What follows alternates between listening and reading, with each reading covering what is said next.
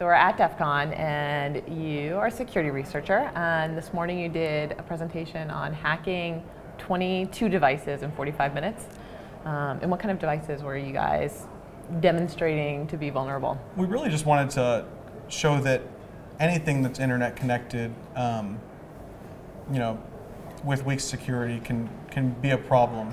Everything that we showcased could have been prevented um, based on securing your Wi-Fi network. So what we have here is this is the Wink Hub.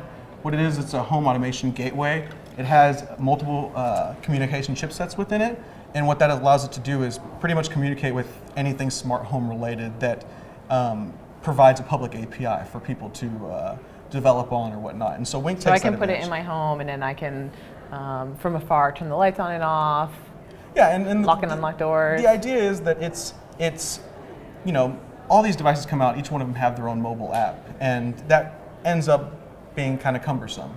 And so with this case, you know, you have one app that kind of does everything. Um, this particular uh, item is a lock. It's a smart lock that you can control from your Wink hub, um, and all of them are just based on having the uh, Wink app and then using that to communicate with your devices within your local area network. So it's convenient. It makes your home smarter. Yeah. There are all these things you can do Exactly. remotely. But there's a problem with Wink. Well, yeah, um, you know, creating consumer devices, everyone makes mistakes, and, and you know, it, it, it can be tough. And so, without proper, you know, auditing and uh, security practices, you know, it, it gets even tougher for the developers. And so, um, the Wink Hub had a, a bug that allowed us to execute commands on it um, from within the local area network. And within that bug, we're actually able to talk to the devices that are connected to it. Since it has access to the devices, if you access the device, you can access all the peripherals that are connected. Okay. The first step is going to be I'm going to I'm going to connect to the device and I'm going to get a listing of everything that's connected. So you're connecting to the So- Wink and seeing what it's controlling. Right, and so right now I'm viewing the connected uh, peripherals to the device and I see that there's a door lock connected. So the next step is actually going to be to go and look and see how to communicate with that device.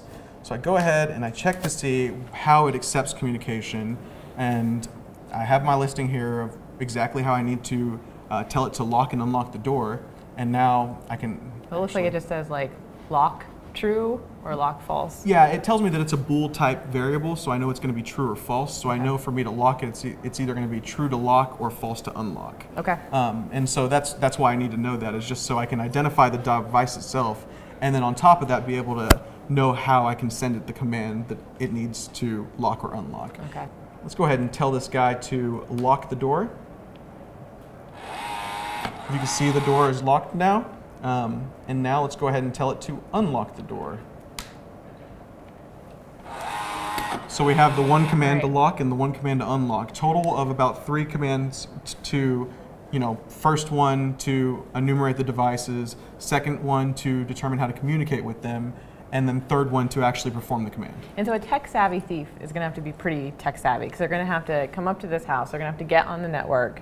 Um, and if it's hard to get on the network, there's like proper protections around it. Right. That would be a problem. Right. But they get on the network, they recognize the wink is there, and then they control the control the lock through the wink. Right. That would be the process. Um, yeah, and I mean they'd have to get past the Wi-Fi network security, of course, um, and so that's why you know we always recommend that people have strong passphrases and they use you know the highest form of uh, security they can, which in this case would probably be WPA2 in most consumer devices. This this is kind of funny, but I, I really love the device itself, even though it had uh, a vulnerability in it, and I actually would recommend it to other people. I, I find it an interesting device, and short of fixing the bugs that we found, I I actually like it. Do you have one at home? Uh, I do now.